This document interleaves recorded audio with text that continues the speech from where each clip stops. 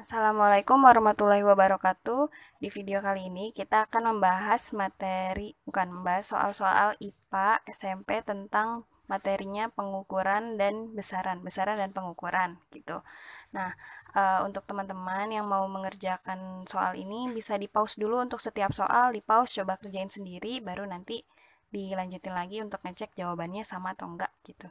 Nah, soal pertama, Doni melakukan beberapa kegiatan pengukuran dan diperoleh data sebagai berikut.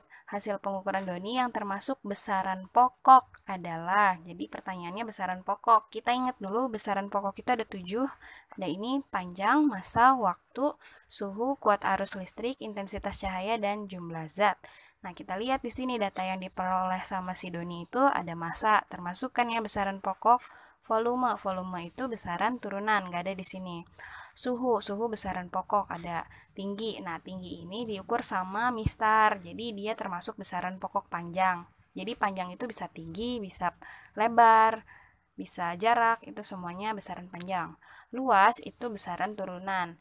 Denyut jantung juga besaran turunan. Jadi yang termasuk besaran pokok dari pengukuran D ini ada massa, suhu, dan tinggi. Jadi jawabannya adalah 1, 3, dan 4 yang B. Gitu. Gimana? Dicek betul nggak? Oke lanjut ke soal kedua. Perhatikan tabel besaran dan satuan berikut. Besaran pasangan besaran pokok dan satuan dalam SI yang benar ditunjukkan oleh nomor. Jadi ini yang ditanya pasangan besaran pokok dan satuan dalam sistem internasional. Kita ingat-ingat lagi tadi besaran pokok ada 7. Panjang, masa, waktu, suhu, kuat arus, dan intensitas cahaya dan jumlah zat. Volume itu besaran turunan. Panjang besaran pokok betul, satuannya yang sistem internasional meter betul. Suhu besaran pokok, tapi satuan yang sesuai sistem internasional itu bukan Celsius, melainkan Kelvin. Waktu, waktu itu besaran pokok, sekon satuannya betul. Satuannya emang detik ya. Besaran massa betul, satuannya kilogram betul. Jadi jawabannya adalah panjang, waktu, dan massa. 2, 4, 5. Yang C. Begitu. Oke, soal ketiga. Berikut ini pasangan besaran pokok satuan internasional dan alat ukur yang benar adalah jadi yang ditanya besaran pokok satuan yang sistem internasional sama alat ukurnya benar mana? Besaran panjang, masa kecepatan, suhu. Oke, kita cek dulu. Panjang betul, besaran pokok, satuan internasionalnya betul. Alat ukurnya bukan stopwatch, pakainya meteran atau mistar. Besaran massa betul. Kalau massa tapi sistem internasionalnya bukan gram, tapi kilogram. SI itu sistem internasional ya, jadi harusnya satuan SI, satuan sistem internasional. Kecepatan itu besaran turunan. Terus suhu suhu betul satuan internasional sistem internasional Kelvin alat ukurnya termometer betul. Jadi jawabannya yang D. Oke lanjut. Nah ini soal stopwatch. Mengadakan hmm, waktu tercepat yang dicapai oleh jarak ya oleh salah satu siswa tersebut oleh stopwatch waktu yang ditempuh. Oke yang ditanya waktu yang ditempuh. Pertama kita besarkan dulu ini stopwatchnya. Oke, nah e, untuk informasi yang kecil ini adalah menit dan yang besar adalah detik. Nah, menit ini batas maksimalnya sampai 30 menit. Jadi ini 5 menit, 10, 15, 20, 25. Gitu. Terus yang atas lagi nanti 30. Jadi ini menunjukkan angka 25 ya.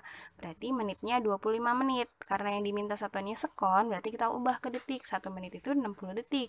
Berarti 25 dikali 60. 25 dikali 60 sama dengan 1500. Jadi 1500 detik. Terus yang ini 25, ini langsung detik nih. Jadi 25 detik, tinggal dijumlah. 1500 ditambah 25. 1500 tambah 25 sama dengan 1525. Sebenarnya jawabannya D. Di kunci jawaban itu saya cek. Ternyata dia typo di soalnya. Harusnya ini 1525 bukan 1535 gitu. Lanjut. Di bawah ini disajikan tabel hasil pengukuran massa dan volume dari tiga jenis benda padat. Apabila ini masa satuannya masanya gram, volumenya cm kubik. Apabila ketiga benda tersebut dimasukkan ke dalam bejana berisi air yang massa jenisnya 1 gram per cm kubik, maka posisinya adalah Oke, jadi di sini ada massa jenis gram per cm kubik dan ini bendanya juga gram per cm kubik. Untuk informasi, kalau massa jenis zat cair lebih besar dari massa jenis benda, maka bendanya itu mengapung. Ya, jadi ini ingat-ingat massa jenis benda, massa jenis zat cairnya adalah 1 gram per cm kubik, massa jenis bendanya nanti dicari. Nah, kalau massa jenis zat cair lebih kecil dari benda, maka bendanya tenggelam. Kalau massa jenis zat cair sama dengan massa jenis benda, maka bendanya itu melayang pada zat cair. Maksudnya yang melayang-layang gitu loh. Kalau di jawaban A kayak si R gitu. Nah, pertama kita hitung dulu massa jenis benda. Di sini ada bendanya nih, ada massa dan volume. Untuk informasi, diingat-ingat lagi bahwa massa jenis rumusnya adalah massa bagi volume. Jadi kita tinggal hitung. Untuk P massanya 500, volumenya 100. Berarti 500 bagi 100 sama dengan 5 gram per cm kubik. Nah, ini lebih besar daripada massa jenis zat cair. Berarti massa jenis zat cair lebih kecil dari massa jenis benda. Kalau lebih kecil berarti bendanya tenggelam gitu kan ya. Jadi si P ini tenggelam. Terus Q 250 250 berarti tinggal dibagi 250 bagi 250 1. Nah, kalau dia ini sama dengan zat cair. Kalau zat cair sama dengan benda berarti bendanya melayang. Jadi si Q melayang. Terus yang R, ini salah ya typo. 220 bagi 330. Nah, ini Q-nya typo harusnya R, bukan Q. Jadi 220 bagi 330 itu 22 bagi 11. Nolnya dicoret. Jadi 2 per 3. 2 per 3 itu sama dengan 0,667 atau 0,67 atau boleh juga 0,7. Nah, kalau dia lebih kecil dari zat cair, berarti zat cairnya lebih besar daripada benda. Karena massa jenis zat cair lebih besar dari massa jenis benda, berarti bendanya mengapung. Gitu. Jadi ini P, Q, dan ini R. Ya, R. Oke. Nah, jadi P-nya tenggelam, Q-nya melayang, R-nya mengapung. Maka jawaban yang paling tepat adalah yang kita lihat dulu P-nya tenggelam, oke.